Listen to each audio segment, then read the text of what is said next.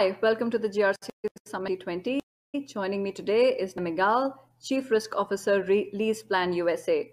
Natalia has been Chief Risk Officer of LeasePlan USA for the past five years. Uh, LeasePlan USA is a global leader in fleet management services. She holds multiple degrees, including Masters in Applied Math from DePaul University, as well as Master's degree in Risk Management from NYU Stern School of Business. She brings over 20 years of experience in banking and financial services to the table, um, and she is a corporate risk expert with a strong passion for analytics, change management, as well as leadership. Welcome, Natalia.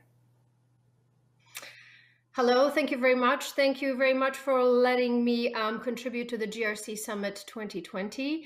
Um, it's my pleasure to be here. And as you just noted, indeed, I have uh, quite an extensive experience in risk management. I currently lead a team uh, who really cuts across nearly every single domain that we are exposed to uh, risk domain that we are exposed to at LeasePlan USA, um, essentially all but a legal risk. So I am responsible for credit risk, asset risk, treasury, reputational uh, risk and uh, compliance and privacy, as well as information security, and probably a couple more as well. So I am very happy today to speak with you about integrated risk management, as this is really sort of my bread and butter and um, what an incredible um, moment that we are getting together during this COVID crisis, which can be really a, a quite an exercise in integrated risk management in its functioning and ensuring that it is well set up and well executed. Um, so today I'm very happy to share with you some of the risk management or risk management best practices that I have collected uh, throughout uh, various years, um, organizations, teams, um, and more. Um, so without further ado, I wanted to cover uh, briefly how I'm going to structure my topic and my talk today. I'd like to start talking about a little bit about the integrated risk management and what it is. And of course, there are um, widely accepted and understood uh, definitions of IRM, but I wanted to dig in a little bit deeper into particular three elements that I find to be very helpful and very tangible. I'll cover data analytics and intelligence. I will cover um, communication and team management. Uh, team management as well, including roles and responsibilities from the context and perspective of integrated risk management, um, organizational uh, resilience and business continuity. And then finally, I will wrap it up um, by talking about contagion risk and how it uh, all comes together. Um, contagion risk, business continuity, and crisis management in the backdrop and from the perspective of integrated risk management. So integrated risk management. Let me start with analytics um, and broad spectrum intelligence, how that should fit into our uh, internal data and data management and what is internal risk management to begin with. So I, I show here uh, a fairly um, a typical standard and very widely used and accepted definition of integrated risk management, which is a set of practices and processes supported by a risk aware um, culture and organization supported by technology as well that improves decision making. And of course, it is from a perspective of making a risk aware and risk sensitive decision making, how those decisions impact um, how we are able to how organizations are able to achieve um, their goals and objectives in a risk sensitive manner. Um, and I wanted to dig deep a little bit uh, into that and, and talk about what else that entails. And here on the left-hand side, or excuse me, on the right-hand side, I have a few points and I will dig deeper into point number two. But let me start from the top. So holistic view of risk profile and exposures. That is what integrated risk management is really all about. It is about making connections, making connections as enabled by three key elements making connections between people, between data, and between systems. Um, that really is a fairly natural uh, way to express what is inter, uh, uh, integrated risk management. Uh, but I do like to think about that in, in those three pillars because it makes it a lot more tangible and it really um, provides a more actionable uh, way of expressing what is integrated risk and how that might come, uh, to, let's say, to fruition, how it might be enacted in your um, uh, organizations.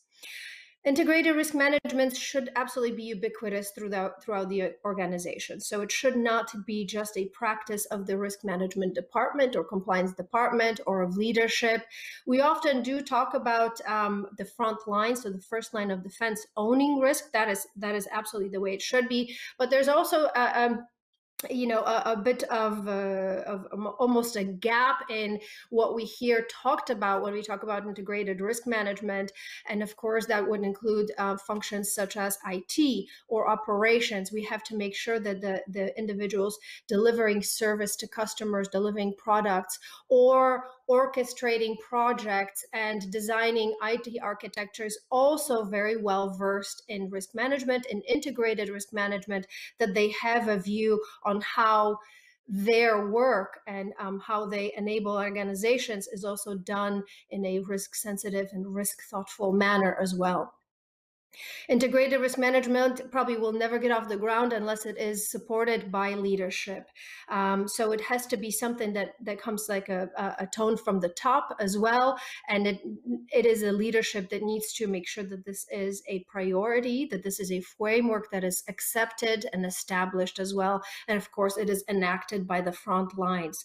So it is the front line and the first line of defense that is the owner of risks, from risk identification to managing action actions, uh, managing controls, etc. So of course, that's a bit of a primer um, on integrated risk. Um, nothing really new here, but I wanted to start with really addressing the basics.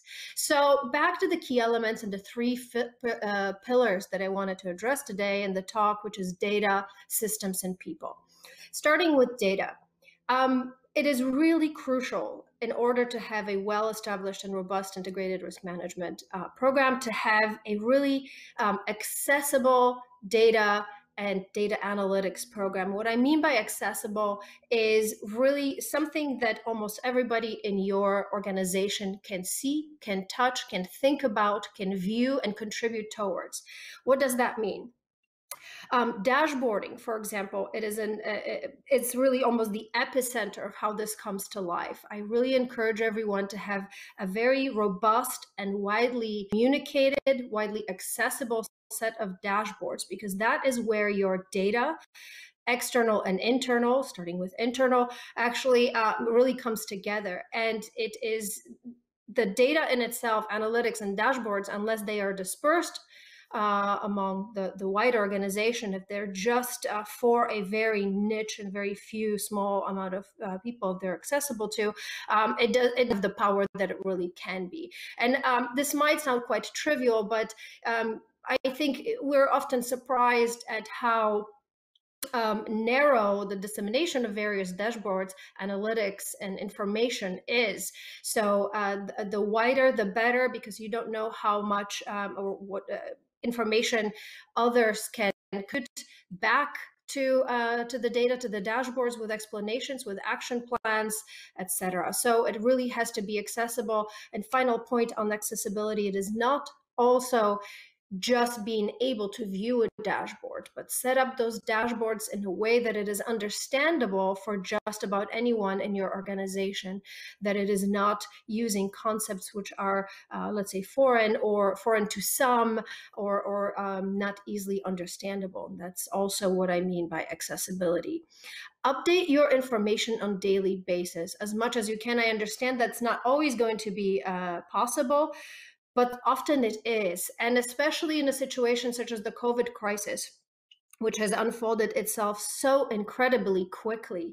Having that um, daily basis um, information, uh, let's say the frequency update or real time, uh, which is ultimately uh, the best, is is really important, so that we are always uh, have at our fingertips the latest information about what is our current um, risk profile, what are exposures, how are they changing, um, so that it helps us anticipate and make risk sensitive decisions. And then finally, and also extremely important, um, connect your data with external intelligence. Um, there is a lot of information out there um, about, for, for, example, the current crisis from spread rates to death rates to um, action plans to stimulus packages, macroeconomic data such as unemployment rates, filings uh, and, and, and, and more so. Um, that is really, you know, it goes to the heart of having a holistic approach to risk management is put, firstly putting your data together with as, as broad as of a set of information and intelligence um, uh, as possible. Where does that really come to fruition? Where can you benefit from that? Of course, stress testing, scenario analysis. If in mature organizations, you will see that perhaps stress testing is something that can be fairly frequently um, uh, executed. So now that we have a brand new experience with the COVID crisis, how is it impacting our cash flow? How is it impacting our employees? How is it impacting impacting our um, our market and say supply and demand?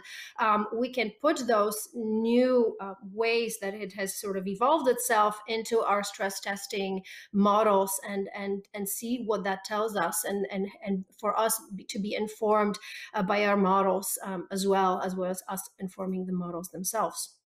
With the same thing with scenario analysis, we have now a scenario that has not played out in this magnitude ever before in the modern times.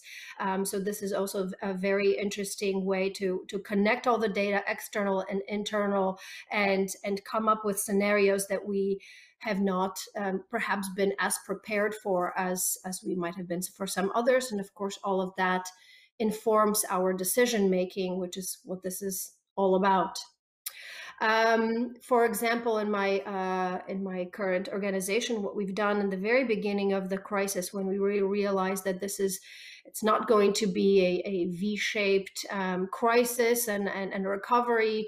Um, we very quickly put together operational risk uh, management dashboards, which we connected with few other uh, pieces of information, and those are available on daily basis um, throughout the organization as well, so that we um, we can really respond to changes in in, for example, in our systems uh, to changes in behavior um, and anything else. Of course, operational risk covers such a wide array of incidents that might happen.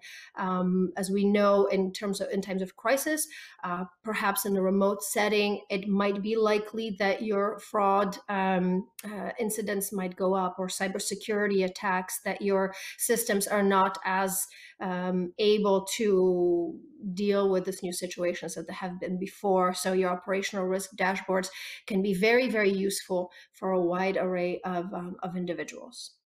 So that's number one, that is on data. Uh, moving on to systems. Um, of course, systems with clean and again accessible data. Here, accessible, that word again. Um, uh, but in this context, I mean for it to be easily extracted and actually put into the dashboarding that we just talked about. Um, connections to analytical dashboarding and visualizations um, so that it really enables that real-time understanding within the organization of what is happening, what are the implications of actions and decisions, and based on that, then what, what are our plans for the future.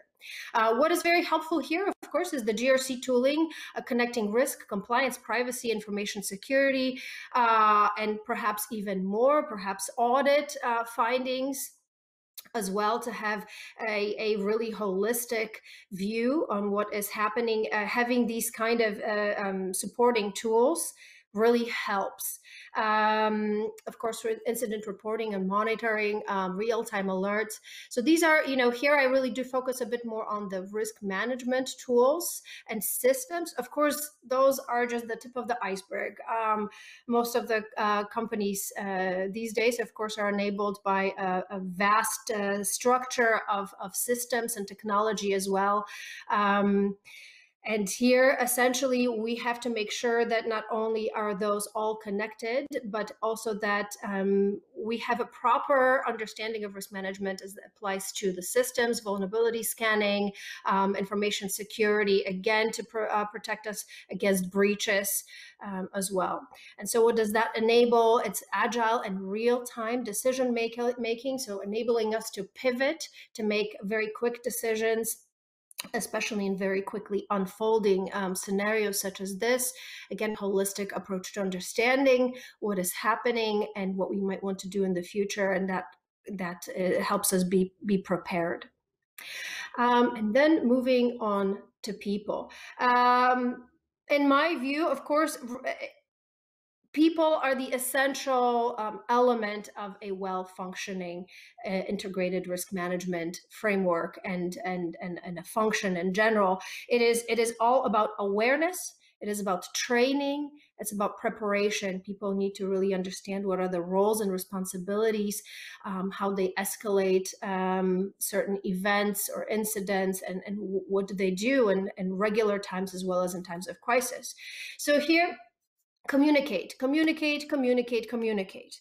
Um, communicate your approaches communicate your plans your decisions etc and what do i mean by that? I'll, I'll go back to the backdrop of covid-19 um, crisis scenario. Um, for example what we what we did we started communicating our approach first. So again what does that mean that means we let people know that we have a task force. We have it in our view. We are working on it. We are looking at our facilities. We're looking at our people. We're looking at our systems. And we're taking a, a very deliberate and intentional review, assessment, and planning process so that individuals throughout the um, organizations understand that action is being taken um, and research is being done and preparations are being done as well. Of course, then once you start coming up with the plans, hopefully very quickly, you disseminate those plans as well, uh, providing lots of um, communication directives, um, um, uh, let's say uh, procedure guides, um, and training. Uh, for example, we very quickly moved to Microsoft Teams as a uh, one of the ways to, to, for us to continue be connected. Um, and there were definitely individuals in the organizations that have not uh, used Teams before. Um, so we had to make sure that everybody was um, trained and at least had some, you know, basic or even a little bit more advanced user guides for them to be able to use that system to, to become connected and remain connected. Um, next, integrate teams into cross-functional task forces. This this is also something that works very very well. And again, it, it, come, it speaks to the heart of integrated risk management. Um, depending on your organization, your market, your industry, you might have um, needs that did not exist before. Needs, especially in servicing your clients and your customers. Um, for example, banking, financial services, and and beyond.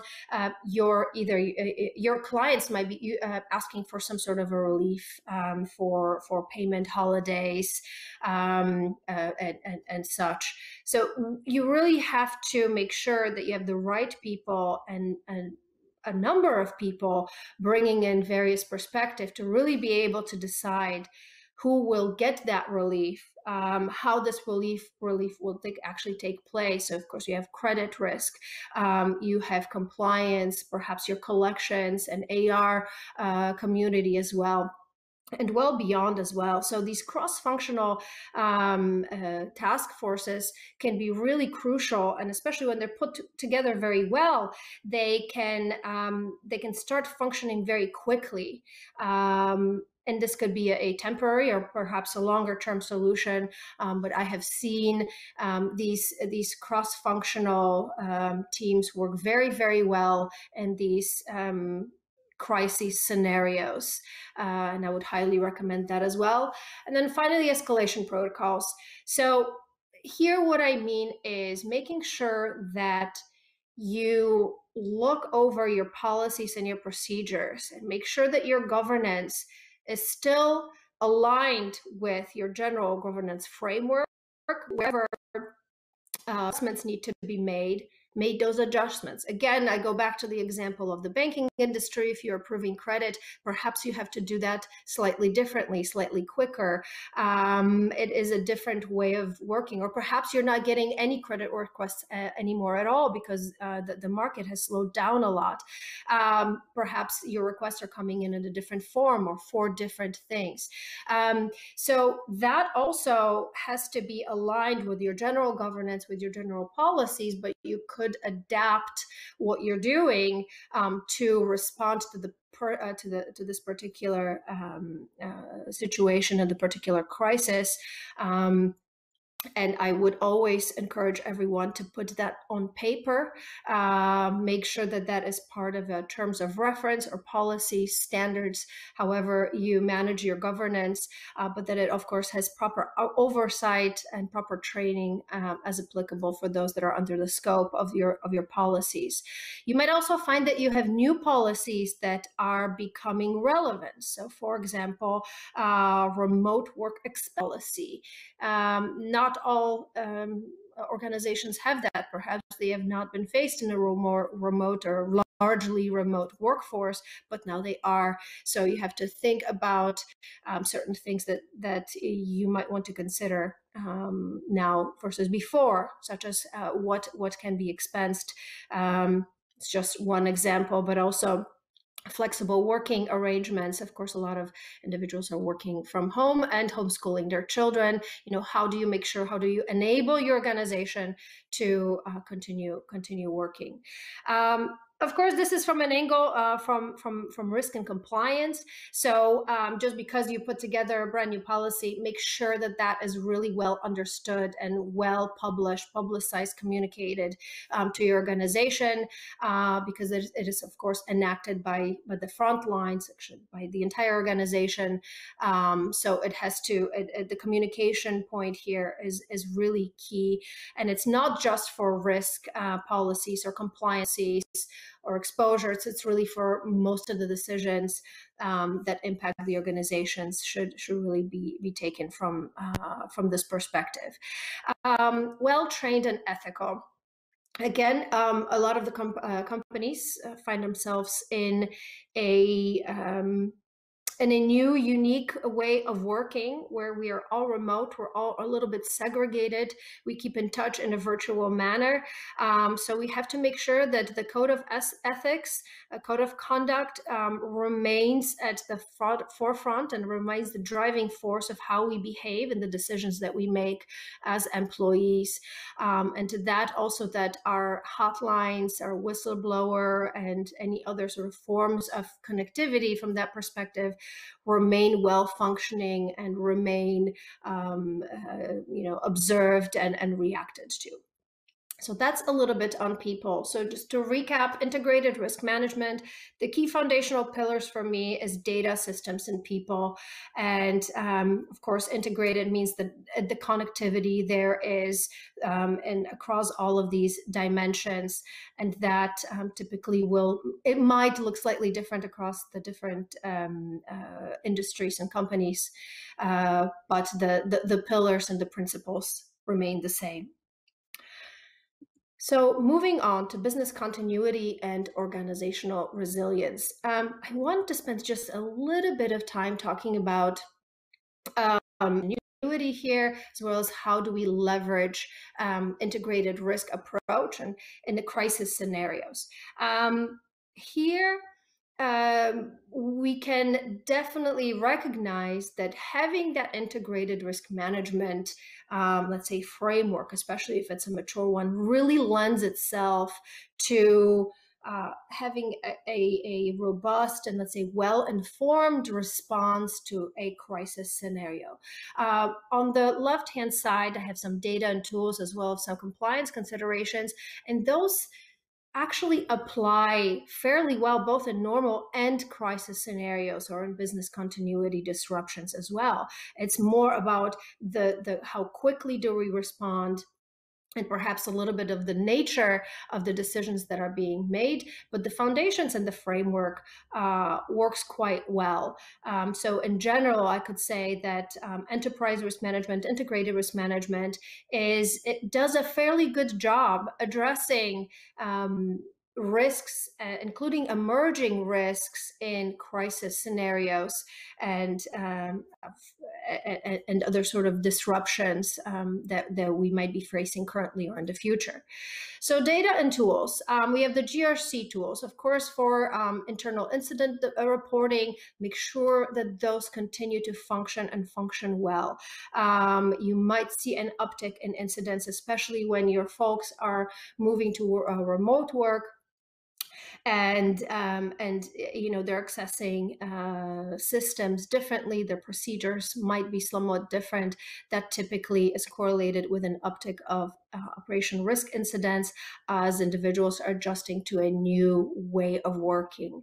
Um, dashboarding, I, I won't go too deeply into this again. Um, uh, uh, I feel very strongly that that is a great way of, of collecting, synthesizing, and disseminating information um, for wider use, as well as analytics, so more deeper analytics. Again, your stress testing and um, scenario analyses here um, can be, uh, you know, they fit very, very very nicely when you are um, where you're in a crisis scenario and you're leveraging your stress testing tools you can feed different scenarios into it or different stressors different elements and be able to um, uh, get different additional insights um, from from um, you know what's going on kit from disruptions in your supply chain uh, from cash flow or liquidity stressors as well that we have been seeing in in this um, in, this crisis as well as previous ones as well.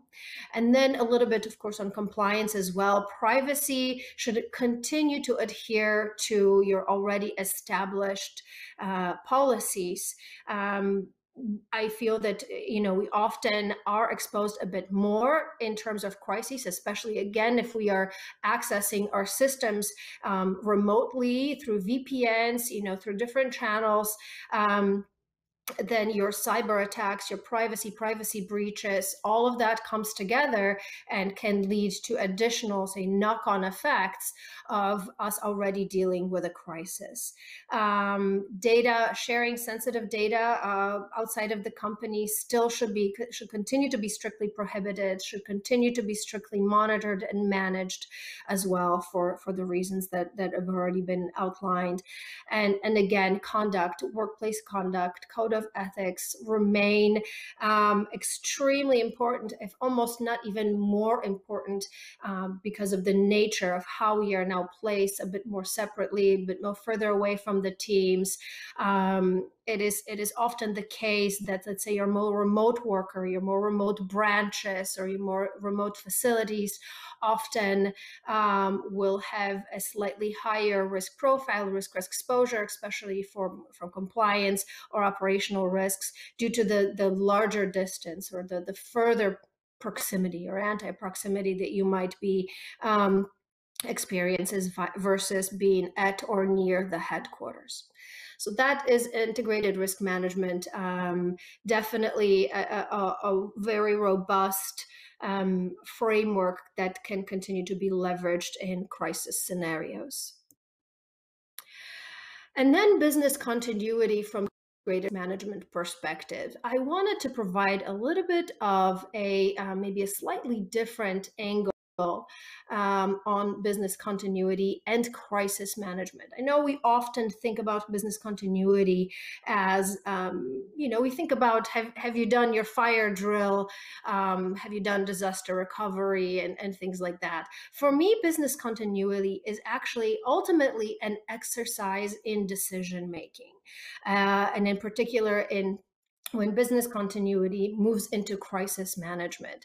It is how do we inform ourselves and how do we make decisions to go remote or come back to uh, uh, um, activate our redundancy uh, protocols or move to new facilities or, or many, many other protocols uh, regarding, again, liquidity, cash flow, um, and many other um, processes that that take place in our organizations um, again, it is about decision making. So, from that perspective, let me start a little bit here about the framework. So, business continuity framework should really be informed by inform by uh, integrated risk management and its principles and the information that it already collects. Um, integrated risk um, does a lot of assessments um, against uh, stress testing, scenario analysis, and all of these are great elements to be fed into the general framework of business continuity and, and crisis management. Um, and of course, and uh, ultimately, they, they should be linked. Um, Then I will go on to the, the, the from the framework to the plans and the testing. So as we have a framework that is informed by IRM, then that will lead to what are our definitions? What are the definitions? What are the triggers? What are the roles and responsibilities for the, uh, let's say, first line or the second line, uh, depending on, are we talking about liquidity or cash flow or operational risk systems, um, reputational risk, um, etc. Et so we have also business continuity continuity teams? Um, who is the decision maker there? Um, do we have task forces? Is that a council or committee, um, or is it just your your your um, ultimate leadership? Um, and of course, we have testing and training, um, uh, which also can be informed by by your stress testing, by scenario analysis, and things like that. so that that works very nicely and neatly together. Training and awareness, all the way to the right here. Um, so an organization that is trained and aware of all the elements of the plans that understand that we have particular triggers, for example, to uh, to move to a remote remote working scenario or um, activate um, revolving facilities or anything else that that might be pertinent to your um, to your organization. But um, for all those to to whom that is uh, that is relevant, um, it is really important that um, the organizations understand that there are um, business continuity plans and crisis management plans, um, that they are documented, that they are published, that they are accessible. Um, and I won't go into too much um, more deeply into business continuity, but um, I do think that it really does lend itself into going hand in hand with, with IRM. Um, uh, then we have uh, people, systems, and beyond. Um, your integrated risk management in conjunction with business continuity often will go through a business impact assessment where you will um, um, select your key business processes and assess what might happen if that process was disrupted. So we'll take a look at who are the key individuals and who are the key roles and functions within that process. That that process what are the um, the systems that it heavily relies upon? What would happen would be the implications of any disruptions to those systems. Does that process rely on third party data or third party services or any other vendor services as well? Um, this is also very much aligned with uh, the thinking behind integrated risk management as it puts a lot of information systems and people together uh, here again. Um, and those in, uh, business uh, impact assessments uh, are very, very useful in business continuity as well. Um, so business continuity and, inter, uh, and um, crisis management really does involve many of the IRM principles. Um, in case of crisis management, these escalation protocols, decision making, and governance, those links they become shorter, quicker, and more intense. And the more prepared we are um, for that, um, the more resilient the organization uh, will become. So speaking of organizational um, resilience, I wanted to start here a little bit with what what is that? That is a that is a concept that is relatively, let's say, I don't want to say new, but it is uh, has been uh, talked about with an, an, extra intensity of the last couple of years, and especially um, these days. And it is an ability of the organization to anticipate, to prepare for, and respond to changes in our market and in our environment, and especially when there are sudden disruptions. And with the overall goal goal that we prosper and we survive in the long term as a successful organization meeting our objectives. Um, here, I would like to refer to a, a really good, a very robust uh, uh, white paper and thinking that was put out by uh, Cranfield School of Management. I actually uh, personally had an opportunity to take some training um, in, in, in, England uh, at Cranfield as well. So it's a really great institution. And they provide a really interesting and I think very useful and quite tangible way and model of how we can think about organizational um, resilience. They, they talk about it essentially along two different dimensions. It is uh, whether we have a defensive approach or a progressive approach. A defensive approach is where we think about how can we stop bad things from happening. And a progressive approach is when we think about what are the new things that we should have happen what are what are the good things that we can we can engender. And then we have consistency and flexibility. So that is the other um, the other dimension.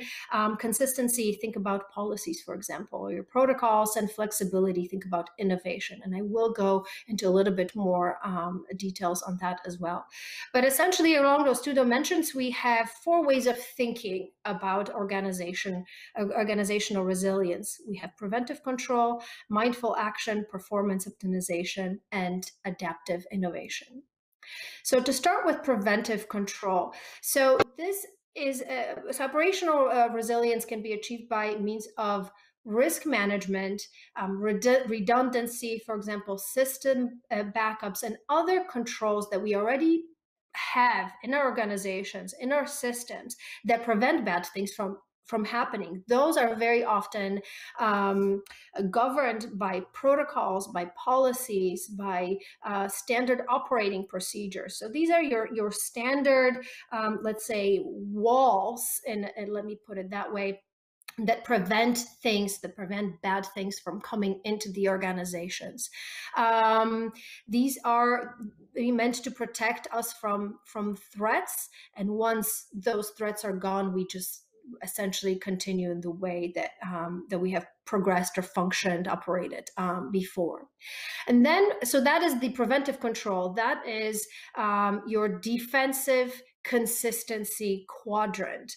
Um, uh, and it is uh, you know your, your the backbone of, of your organization and, and your control environment. Then we have mindful action. Mindful action is still defensive but it it, it thinks about um, a threat, especially when it has not been encountered before. And it asks a question how can I, in a new way, or in a, let's say, by, via pivoting, how can I um, answer this particular threat? So um, essentially, we are here reacting to unfamiliar circumstances, unfamiliar challenges. That is mindful action, still defensive, and a defensive approach. Um, but but um, you know allowing for flexibility uh, within within your framework. Um, so, for example, if you have a new cyber attack, maybe from a source that you have not encountered before, or you have a new system configuration that um, essentially uh, exposes you to new vulnerabilities. Um, you know, for, and from that perspective, we might have to think about how do we continue to protect ourselves, but we might have to consider new and novel ways of doing that. Um, and then next we have performance um, optimization. Then here we are talking about um, your, your progressive. So how do we make good things happen, but also here in a consistent way? So how do we take our uh, current processes and make them better? This is um, actually a, a, that should be happening in our organizations regardless of the situation. It could be normal course of business could be um, um, our, our crisis or uh, uh, scenarios as well. But we need to continue to evolve and continue to review and adjust our processes our systems and then ultimately our services to our clients um, uh, and, and, while thinking about how do we how do we how do we evolve, digitize, um, transform our, um, our, our current um, current processes, current ways ways of working, and technologies. And then finally, we have adaptive innovation. Um, this is through creating and inventing and exploring the unknown realms of um, uh, of our markets um, sometimes uh, uh, really responding to, to threats uh, that might also become opportunities as well in a, in a brand new way um, of you know of dealing with our process even of brand new technologies exploring new market opportunities. Um, so so to that for example i would not at all be surprised. In fact i would really anticipate that many many companies will take a look at their business models at this they currently stand and will say to themselves, while we may have survived um, in, in this current crisis, we cannot um, we, we cannot do this again. We will have to adjust our business models. We will have to adjust where we get our revenue from or our cost structures or funding structures and everything else so that next time we do not have to, for example, furlough individuals. We do not have to have layoffs. So how do we continue to serve our customers and provide our services in a way that is not as disruptive as, as what this um, uh, let's say COVID um, crisis um, has has has has shown uh, to be so adaptive um, innovation. Um, i uh, i encourage you very much to take a look um, at at the the white paper in itself. I do have a link that is on this page as well as the previous page is the exact same link uh, but it is a really good uh, platform for starting to think about where your organizations where your processes and where your technologies fit in. And of course your organization resilience you know resilience in, in general we think about how do we bounce back.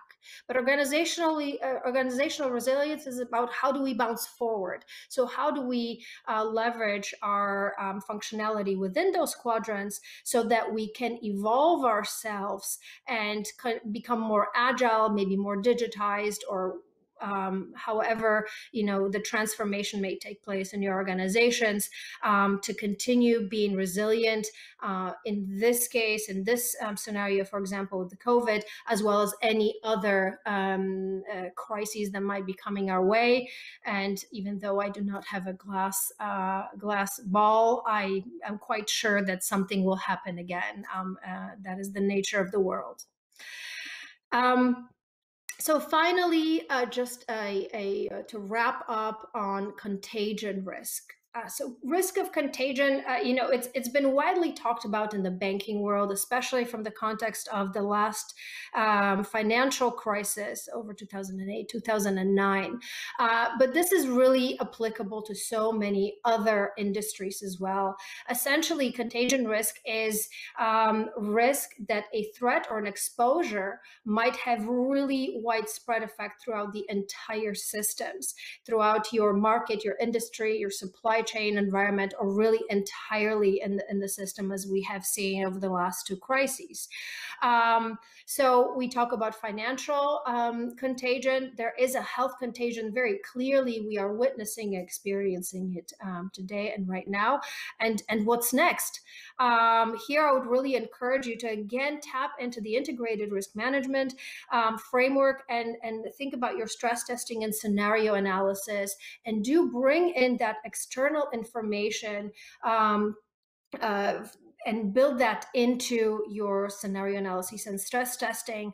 For example, the World Economic Forum has a global risk survey that is a really interesting read um, and not often does it make all the way into the organizations and they're considering of their uh, risk management func- functions and exposures. But um, if you look at the last, um, let's say, two or three years, environmental risk has been really at the forefront. Um, cyber risk, uh, uh, uh again has been ex- and eh, eh, eh, really highlighted as, as as likely and something that is that might have a great impact on um, on our organizations on our communities and our environments and um, to that, I will also say that pandemic has also been talked about in these kind of surveys. So I would go as far as saying that this pandemic, it is not a black swan event, but in fact, we had ha- have had H1N1, we have had SARS and MERS and a few others.